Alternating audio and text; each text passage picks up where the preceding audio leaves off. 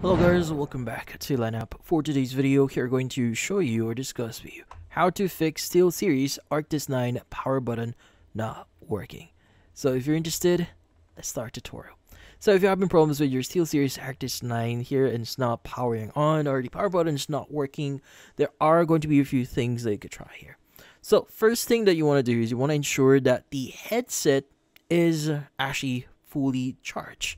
So in this case, uh, you want to make sure that your charging cable is actually working properly. Now, if the power button is not working, most likely it's not charging or your headset here is not properly charged. So in this case, try using a different cable or even different power source.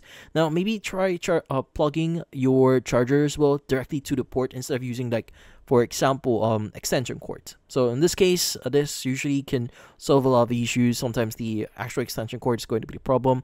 But yeah, just try a different cord, a different power source here, and basically look for a solid light or a solid red light when charging. So a weak or blinking red light may indicate the uh, there are some charging issues here. Now, next thing that you could do here is you might want to hard reset your headset. Sometimes there might be some glitches within the headset itself. Hard resetting it can solve a lot. So first is you want to go and look for the reset button. So in this case, it's going to be near the charging port. So just go ahead and look at it. Now, from then on, you want to use a uh, small paper clip because it's going to be very small pinhole there.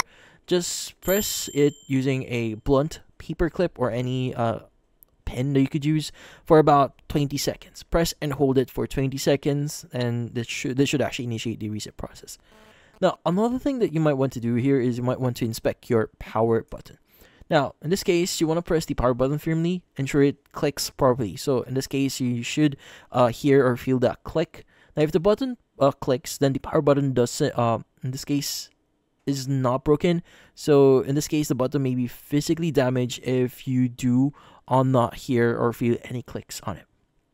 And also another thing that you may, may maybe want to try here is you may want to leave your headset here charge or charging for one or overnight. So in this case, uh, using both the original cable or an, an alternate one, alternative one, you can go and use that, ensure the battery receives the full charge.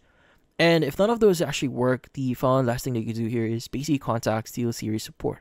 Now, if the handset still doesn't uh, turn on after trying all the steps that we did before, uh, the power button or terminal battery may be faulty. So you can maybe ask for them to uh, fix this for you, or even get or ask for a replacement just in case you bought this on, uh, you just got this um, headset here.